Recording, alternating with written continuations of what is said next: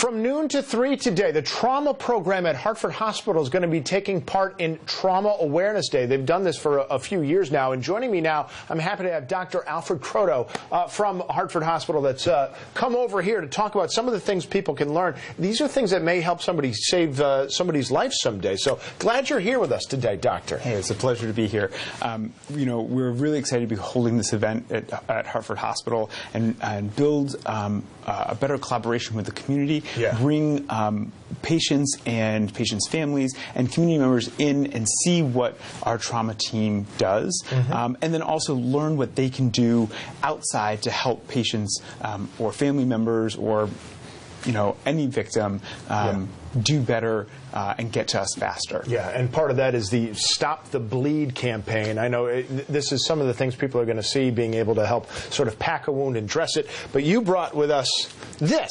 Yeah, so um, as part of Stop the Bleed campaign, which is a, a national campaign um, kind of designed to enable and empower people to control bleeding on site, uh, um, we uh, are teaching people how to pack wounds and how to put how to how to put tourniquets on Yeah. um, and and use them appropriately. And you know the the uh, pu- uh, public often is afraid of putting them on because they think that um, you know maybe they'll lose a limb. Um, but actually, by applying the tourniquet, you can save a life. And so, um, if you can stop bleeding, you can save a life. Okay, and th- that was one of my misconceptions too. I would have thought that's such a last resort. You might up having to lose a limb to save a life too. Uh, I also saw in, in some of the preparatory documents you're also uh, trying to get people to sign on for a universal motorcycle helmet law. Yeah. Tell us about that. So um, one of the things that we're, we're really kind of focusing on as trauma surgeons is not always in, in the operating room, but Yeah. injury prevention. And uh, we talk about accidents, but um, accidents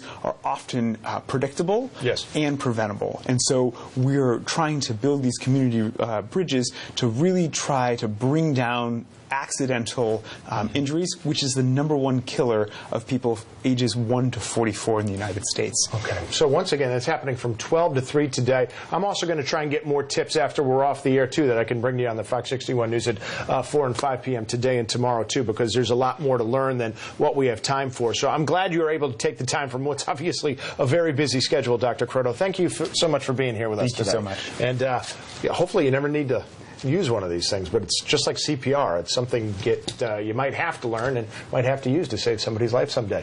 Uh, let's get over to the Weather Center. I Want to get one last check on the forecast, guys. How do things look?